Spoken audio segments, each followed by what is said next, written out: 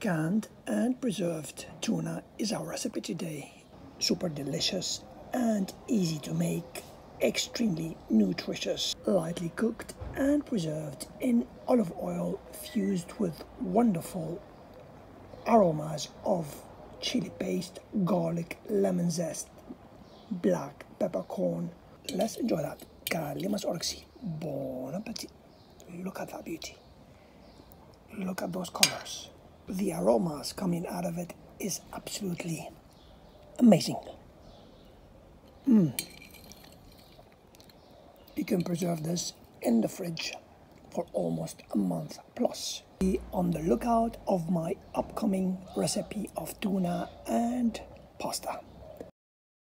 I've got one fresh tuna fish, about uh, one and a half, two kilograms that I've taken out the bones and the head liter and a half of cold water. For the preparation and boiling process, we need about four to five bay leaves, four to five garlic cloves, a small spoon of Himalayan salt, small spoon of peppercorn, and a dash of crushed black pepper. For later on, we're going to use the uh, skin of a lemon, the zest. We have four to five uh, garlic cloves. We need either capers or caper leaves. And of course, we will use our olive oil.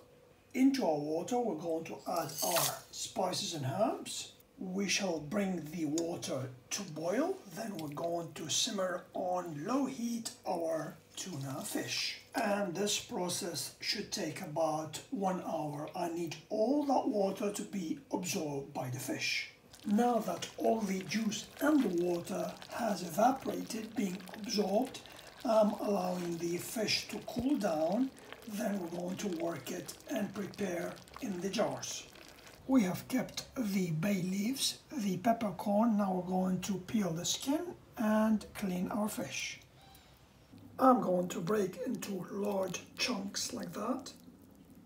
Look at that beauty.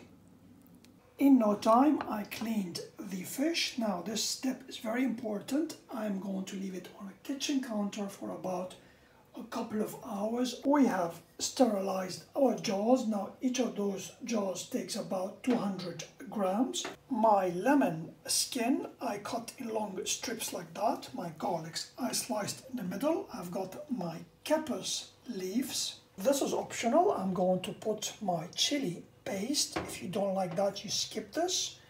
And the uh, tuna is well dry. So we're going to start putting in the jars. We start with a layer of lemon skin, the garlic cloves, then we're going to place our capers leaves. The chili paste, as I said, this is optional. I'm going to place at the bottom of the jar like this. It will flavor all the tuna.